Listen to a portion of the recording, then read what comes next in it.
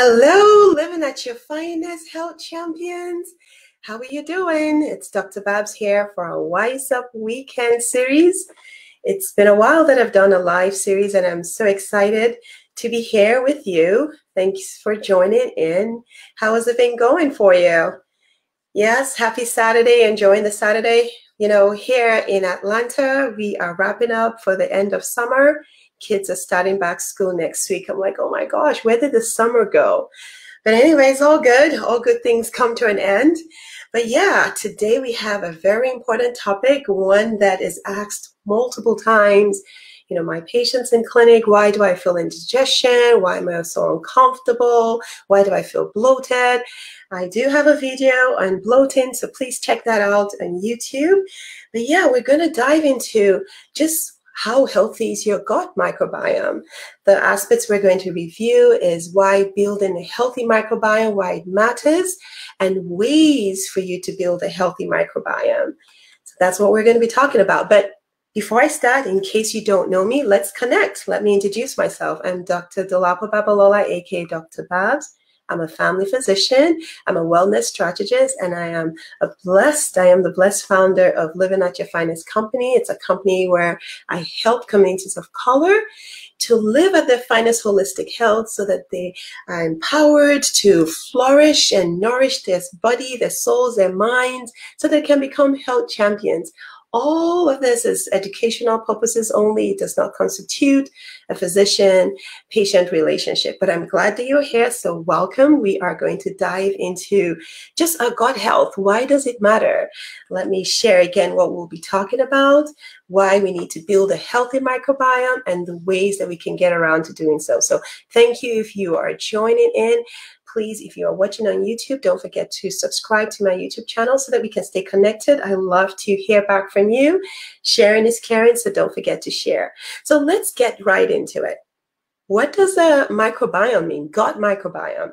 So it's so interesting to note that our bodies are made of trillions of, of microbiomes, and microbiomes just means bacteria, virus, and fungus. I was like, how is that possible that we're more of bacteria cells than human cells. So almost like 10 trillion times more bacteria cells than human cells. Majority of them are in the gut, however, and they serve several reasons, several purposes. So let's talk about it. So again, the microbiome, which I said the bacteria, the virus, and the fungus, but mostly bacteria, aids as a fighter with food digestion. It helps making energy, builds strong immune system. It helps with synthesis, just put, just the processing of food and different hormones. Our body is made of several hormones. That's how it functions. That's the messages that goes from the brain to the gut. So so important that we we pay attention to our gut microbiome. Several things that can come about having a poor microbiome is again, the opposite of all the things that we already said. You feel indigestion, you just feel very weak and tired, you feel bloated, you feel constipated. So again, if our microbiomes is relying on good food, we got to feed it good food. So let's talk about a few things that we can do that can get us to that place. Fiber. Fiber is so important that we need to eat fiber because fiber is one of the key elements to keeping our microbiome healthy. Fiber is one of those major food groups that keeps us full, that gives us healthy microbiome. Now let's take a look at some of the healthy microbiomes that you would want to, just in case you're wondering what falls under the fiber. I have a beautiful picture here to share. So this fiber. These are the top 20 high fiber foods. Some of them you might have identified. Maybe it's one of your favorites. My favorite here is avocado, which is about nine grams of fiber. The American Heart Association actually recommends 25 grams of fiber per day. And unfortunately, a lot of us fall short of that. Lentils is good. We have uh, black beans, Raspberry, I also love raspberries. I've been eating that a lot lately. You get a lot of your fiber in your nuts. So look at this list and find out which is your favorite. How can you get that 25 grams of fiber that is recommended? So let's proceed with other things that we need to do that is good solution for us. So we need to eat fermented foods. I'm sure you're wondering what does fermented foods mean? So these are the foods that actually build the good bacteria in our stomachs, in our gut.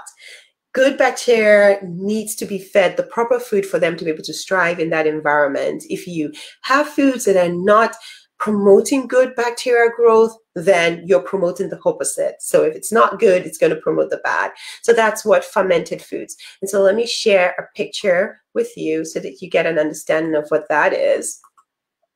And this is where, if you've already heard of this terminology before, you have the good bacteria, which is called the probiotics. As I already mentioned, probiotics are the good bacteria in your gut that helps your body break down foods and support gut health. Some of the examples, coconut, kimchi, yogurt, but make sure that it's not the one that has a lot of sugar in it, non-dairy. So those are a few that I like to, to take advantage of. Now the pre though, pre just means the food that the bacteria actually feeds on.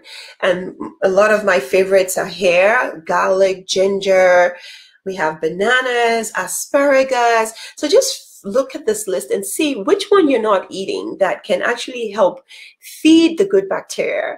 All right. So again, the prebiotics are the foods that the good bacteria feeds on. They're non-digestible, but it does serves a big purpose in, in, in your in your GI tract because it helps to feed the good bacteria. Now, there are other things, right? So there are other things that that this helps with. You want to avoid processed foods, processed foods, sugary foods, they all help the bad bacteria. It just causes a roller coaster effect of indigestion. Um, the good bacteria just feels overwhelmed. It can't do anything. It's not sustenance for, it doesn't sustain it long enough for it to do perform the functions like building immune system so it doesn't activate at all now what's about sleep sleep and exercise so important because it decreases your stress hormones as you see that if you don't manage your stress your microbiomes are stressed because of the high cortisol level. High cortisol level doesn't create a good environment for your good bacteria to work and function at its best. So here are a few things that we definitely need to pay attention to as solutions to make our gut healthier than unhealthy. All right, so there we have it.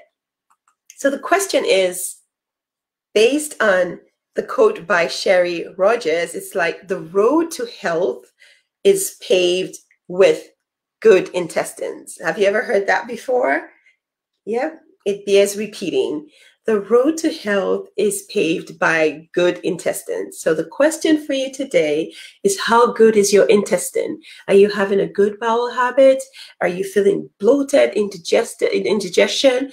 How can you take care of this? The best way to take care of it, again, as I mentioned, we are made of trillions of bacteria cells, mostly in the intestines and in the skin, and they serve as an important function in building immune system, food digestion. So if we feed it well with the proper food, we will get good results. We'll feel comfortable. We won't feel bloated. We won't have inflammation.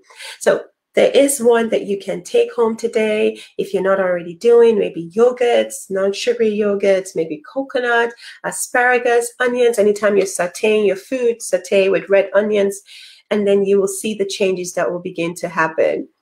Thanks again for joining me with on this Wise Up weekend where we talk about relevant health topics that will make us whole overall. Again, if you have not subscribed to my YouTube channel and you're watching on YouTube, please go ahead and do so. Go ahead and share with friends and neighbors. Let's get healthier together, right? Let's have healthy microbiomes together. But I can't wait until next time when we have another high yield topic on how to live at our finest health. I want you to know that you deserve you deserve to live at your finest holistic health by being whole and vibrant because you deserve it and you most certainly can achieve it. Take care. God bless.